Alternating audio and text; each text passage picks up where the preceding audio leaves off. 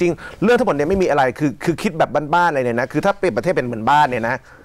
มันเป็นประเทศที่แบบแต่เดิมมันก็อยู่กันมีความสุขใช่ไหมครับมันเป็นประเทศเป็นเหมือนบ้านที่มีที่มีบ้านพื้นที่สักหนึ่งไร่อยู่สักอยู่มีสักสิบห้องอย่างนี้เนี่ยนะครับก็แบ่งพื้นที่ให้คนอยู่กันไปห้าห้องสิบห้องอะไรกันว่านไป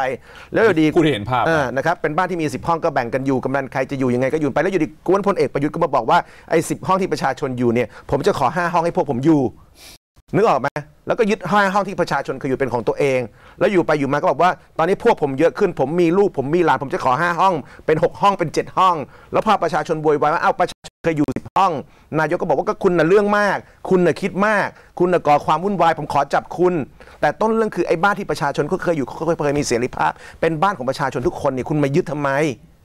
คือถ้าวันนั้นคุณไม่มายึดมันไม่มาลามถึงตอนนี้แล้วพอประชาชนโวยวายคุณก็ไปยัดข้อหาว่าไอ้พวกโวยวายเนี่ยคือพวกยุยงปลุกปั่นฮะก็คุณไปยึดบ้านมาจากเขาว่า บ้านเขาเคยอยู่ของเขามาแล้วคุณก็แบ่งบ้านครึ่งหนึงไปเป็นของพวกคุณ แล้วยิ่งอยู่นานคุณก็ยึดบ้านมากขึ้นเดิมยึด 5 ขอยึด 6 ผมมีลูกขอยึด 7 ผมขอทำงานต่อขอยึด 8 ขอยึด 9 จนประชาชนเนี่ยแทบจะไม่มีความเป็นเจ้าของบ้านอยู่แล้วในประเทศเนี้ย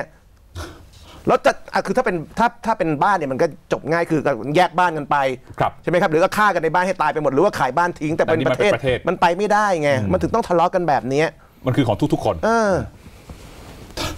เรื่องต้นเรื่องไม่มีอะไรซับซ้อนนะบ้านเนี่ยเหมือนประเทศที่ประเทศเนี่ยเหมือนบ้านที่เป็นของทุกคนแต่ว่าครับคนกลุ่มหนึ่งยึดไปเป็นของตัวเองแล้วยิ่งอยู่นาน ยิ่งยึดยิ่งยึดยิ่งสร้างความจำเป็นยึดมากขึ้นเรื่อยอืม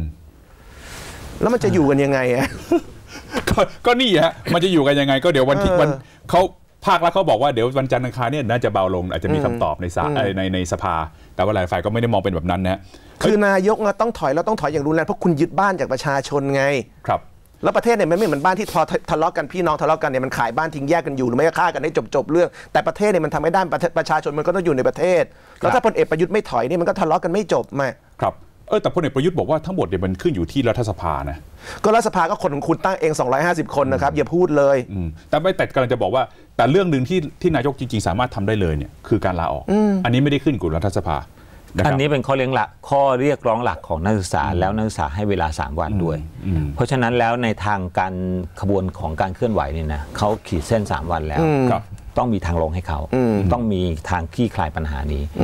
นายกจะมาลอยตัวว่าทุกอย่างอยู่ในเวทีสภาไปคุยกันในสภา คือนายกอย่าอ้างสภาไม่คือได้คนเขารู้อยู่แล้วว่าสภาเนี่ย750 คนนายกตั้งเอง 250 คนนะฮะคือลำหพันึ่งงในสามของสภาคุณตั้งพวกคุณมาเองมาเลือกคุณเองอย่าอ้าง